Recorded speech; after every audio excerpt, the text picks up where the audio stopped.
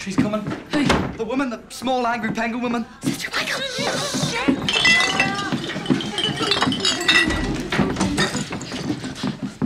Oh, good evening, sister.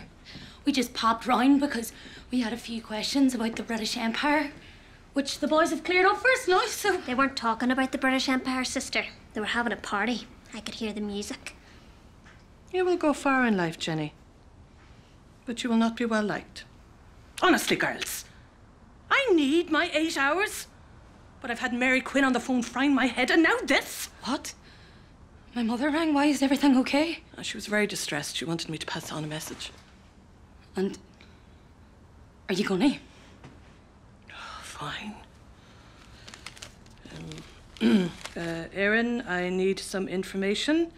Can you find out in a subtle way if Michelle's mother was given the big bowl by someone she has since fallen out with, and if she can no longer bring herself to look at the big bowl because it's just too painful? All the best, your mother, Mary.